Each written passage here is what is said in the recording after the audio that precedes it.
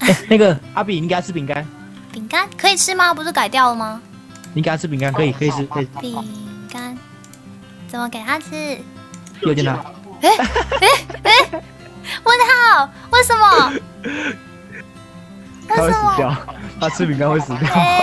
为什么欺骗我的感情？他他设定就是这样。我知道以前可以喂啦，但是我听说改掉，我以为改掉是就是不能喂他，结果没想到他就死掉了。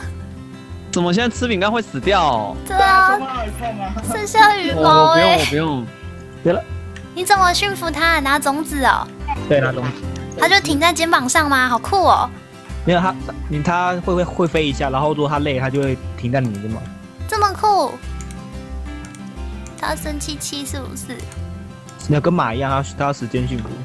你为什么要一直生气气？右键按着。右键按着就一直给它吃。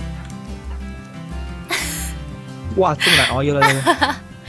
快点上来我的肩膀上！靠近他一点，靠近他一点，你不要重叠。你叫他坐下了，然后叫他，然后让他站起来。对啊，好酷哦！好，慢慢来，慢慢来。就他飞去找杰瑞了。他飞久了，他就会，他就会停在那。快点，我也要驯服你。哎，去哪里了？哦，跑到我肩膀上了。好酷哦！不来了，不要不要走。哦，他会自己跑走就对了。对对对，他累的时候就停下来。居然，所以也是可以叫他坐下就对了。他可以停在停在，好可爱哦，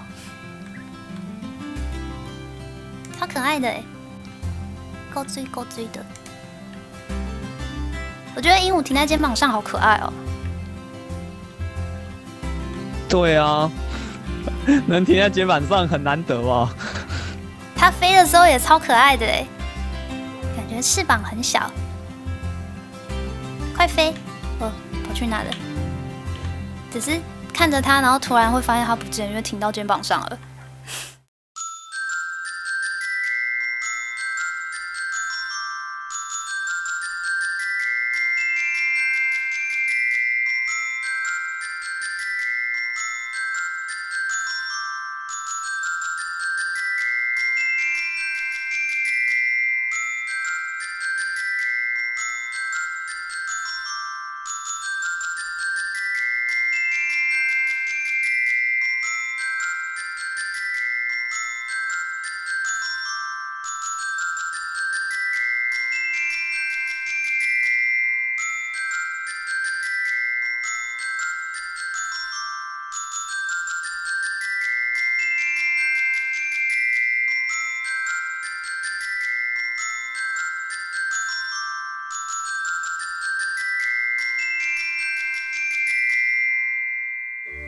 其实我声音调很小哎，你的鹦鹉掉了，它飞过来了，